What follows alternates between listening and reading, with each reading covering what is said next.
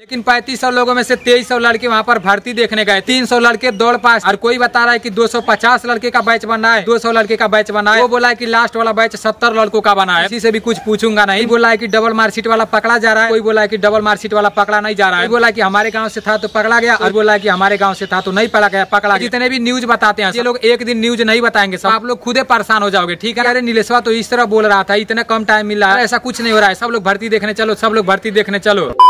Hind everyone Uttar Pradesh और RCR में जो अग्निवीर की भर्ती कराई जा रही है, कल 3500 लड़कों को वहाँ पर भर्ती के लिए बुलाया गया था। लेकिन 3500 लोगों में से 2300 लड़के वहाँ पर भर्ती देखने गए थे, जिसमें से 300 लड़के दौड़ पास किए और 2000 लड़के को वापस घर भेज दिया गया। उसमें से कुछ हमारे दोस्त भी दौड़ पास किए हैं और कुछ लोग वापस घर भी चले आए हैं। कल इसके ऊपर मैं एक वीडियो बनाया था, देखो बहुत सारे लोग उस वीडियो को देखे थे और कुछ लोग मतलब कमेंट भी किए थे तो सभी लोगों के कमेंट का जवाब इस वीडियो में मिलने वाला है। हो सके तो इस वीडियो को आप लोग पूरा ज़रूर देखना, क्योंकि इसके बाद मैं इसके ऊपर कोई वीडियो नहीं बनाने वाला हूँ। मैं खुद वहाँ पर जाकर देखूँगा, जो सच्चाई रहेगा वो मैं आप लोग को बताऊँगा। पता है, हमारे जो दोस्त लोग वहाँ पर भर्ती देखने गए थे, वो लोग जो बताए थे, वो पूरा का पूरा बात मैं आप लोग को बताया था। उन लोगों का रिकॉर्डिंग भी मैं आप लोगों को सुनाया था। तो कुछ भाई लोग हमारा वीडियो देखे थे, उस वीडियो में मैं बताया था ना, कि ज़्यादा टाइमिंग नहीं मिल रही है। अब ज़्यादा टाइमिंग नहीं मिल रही है तो इसका मतलब ये थोड़ी क्या है कि चार पचास टाइमिंग मिल रहा है, चार चालीस टाइमिंग मिल रहा है। अरे जो हमारे दोस्त लोग थे ना, उन लोगों का टाइमिंग बहुत अच्छा खासा था, लेकिन उन लोगों का दौड़ नहीं निकल पाया था। और वो लोग खुद बता रहे थे कि जिन लोगों का टाइमिंग उतना अच्छा नहीं था, उन लोगों का दौड़ निकल गया था।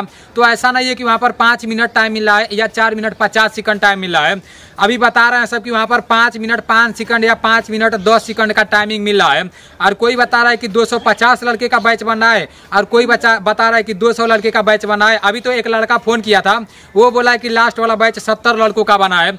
तो इस तरह कर करके बता रहे हैं सब। और ये जो लोग बता रहे हैं ना, ऐसा नहीं कि वो लोग अपने घर से बता रहे हैं, वो लोग खुद वहाँ पर भर्ती देखने गए हैं। तो अब हम लोग किसका किसका बात माने मेरे भाई? इसलिए अब मैं किसी से भी कुछ पूछूँगा नहीं।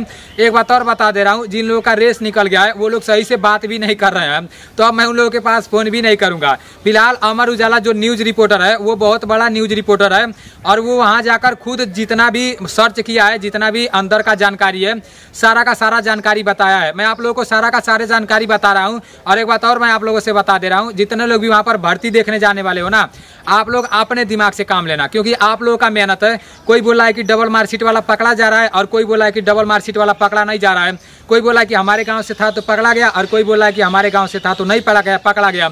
तो आप किसका किसका बात मानेंगे? आप लोग खुद वहाँ जाकर सारा का सारा सिचुएशन देखना और जैसा होगा वैसा करना। और सुनो, मैं सिर्फ़ उन लोगों के लिए वीडियो बनाता हूँ जो लोग मेरे ऊपर भरोसा करते हैं। मैं उन लोगों के लिए वीडियो कतई नहीं बनाता हूँ, जिन लोगों के मन में ये चलता है कि नीलेष तो रोज रोज वीडियो बनाते रहता है। ये तो यूट्यूब से बहुत सारा पैसा कमाता होगा। ये तो यूट्यूब से सिर्फ़ पैसा कमाने के लिए वीडियो बनाता है। तो मैं आप लोगों को एक बात बताऊँ, जितने लोग भी यूट्यूब पर वीडियो बनाते हैं ना, कोई ऐसा यूट्यूबर नहीं होगा जो यूट्यूब से पैसा कमाने के लिए वीडियो नहीं बनाता होगा। अब देखना यह है कि कौन क्या बात बताता है। मैं कोई डांस गाना थोड़ी करता हूँ, कोई भी भर्ती निकलती है तो आसानी से बता देता हूँ। और कोई भी न्यूज़ निकलता है तो भी मैं आसानी से बता देता हूँ।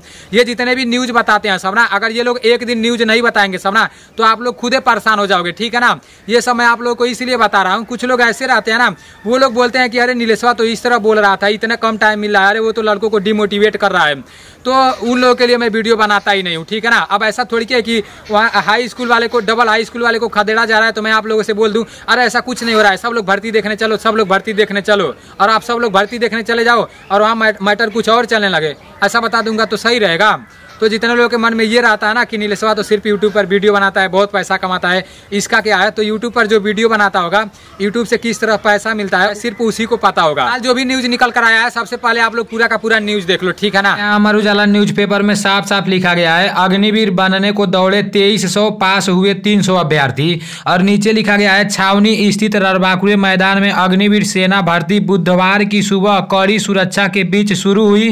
पहले दिन गोरखपुर के बाँस गाँव और चौरी चौरा तहसील के 2300 अभ्यर्थियों ने 1600 मीटर की दौड़ लगाई, जिसमें 300 ही पास हुए। दौड़ में पास हुए अभ्यर्थियों की शारीरिक दक्षता और दस्तावेजों का सत्यापन किया गया। चयन भर्ती प्रक्रिया में शामिल होने आए कुछ अभ्यर्थी ने मैदान में कांटे होने की शिकायत की। आरोप लगाया कि पैर में कांटे चुभने की वजह से वह दौड़ नहीं सके। बृहस्पतिवार को गोरखपुर के खजनी और गोरखपुर तहसील के अभ्यर्थी की दौड़ होगी। और यहाँ लिखा गया है कि 6 दिसंबर तक चलने वाली अग्निवीर चयन भर्ती में सुबह छः बजे ररबाकुरे मैदान में गोरखपुर के बास गाँव और चौरी चौरा तहसील के 3505 अभ्यर्थियों को बुलाया गया था, जिसमें दोनों तहसील से 2300 अभ्यर्थी दौड़ में शामिल हुए। जैसे 3500 लोगों को बुलाया गया था, लेकिन 2300 लोग सिर्फ़ वहाँ पर भर्ती देखने गए थे।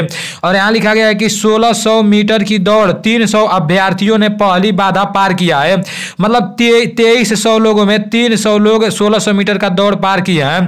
और यहाँ लिखा गया है कि दौड़ में सफल हुए 300 अभ्यर्थियों को अलग करते हुए दस्तावेजों का सत्यापन किया गया। इसके पूर्व अभ्यर्थियों का मैदान में एडमिट कार्ड शक्तिवर्धक दवा, लंबाई बूथ से गुजरना पड़ा।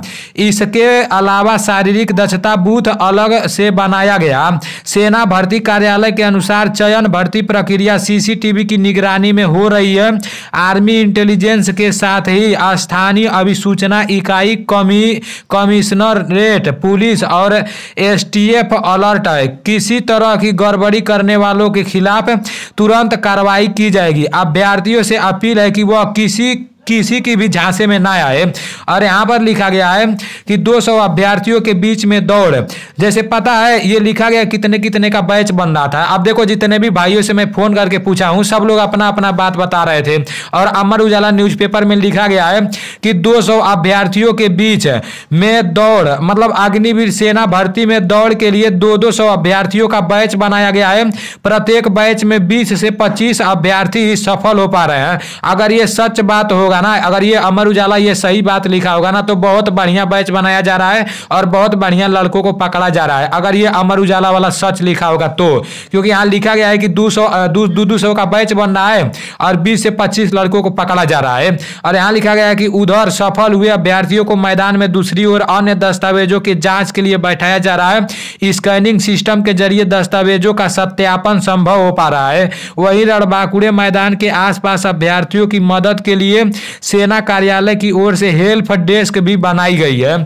तो जो कुछ भी न्यूज़ था, मैं आप लोगों को सारी न्यूज़ बता दिया हूँ। और यहाँ लिखा गया है कि मैदान में काटो काटो ने रोक दी रफ्तार। तो कुछ भाई लोग ऐसा बोल रहे थे कि जो फ़ील्ड है दौड़ने वाला, उसमें कांटे लगे हुए हैं, क्योंकि अभी नया नया ग्राउंड साफ़ हुआ था और पहला दिन भर्ती था। तो वो लोग बोल बोल रहे थे कि ट्रैक पर कांटे लगे हुए थे, इसलिए हमारा दौड़ नहीं निकल पाया। अमर उजाला के न्यूज़पेपर में जो कुछ भी लिखा गया था, मैं आपको सारी की सारी चीज़ें बिल्कुल आसानी से बता दिया हूँ। ये जो अमर उजाला वाला न्यूज़ रिपोर्टर है ना, ये कोई छोटा मोटा न्यूज़ रिपोर्टर तो है नहीं। अब इन लोगों को कुछ सूचना मिली होगी, ये लोग वहाँ पर गए होंगे, तभी ना वो सारी की सारी चीज़ें लिखे होंगे। अब मैं जितने भी लड़के से पूछा हूँ, कोई कुछ बता रहा है, कोई कुछ बता रहा है तो अब मैं किसी लड़के से पूछ भी नहीं करूँगा। अब मैं खुद वहाँ जाकर देख लूँगा, ठीक है ना? और मैं आप सभी लोगों से बस एक ही बात कहना चाहूँगा कि आप लोग भी किसी लड़के से नहीं पूछना। कोई कुछ बता रहा है, कोई कुछ बता रहा है। आप लोगों का मेहनत है। अभी वाराणसी ज़्यादा दूर नहीं है। आप लोग खुद जाकर वहाँ पर देख लेना, ठीक है ना? चलो ठीक है भाई, मिलते हैं अगले वीडियो में। अब देखते हैं आगे क्या होता है। जो कुछ भी होगा, देखा जाएगा। जय हिंद।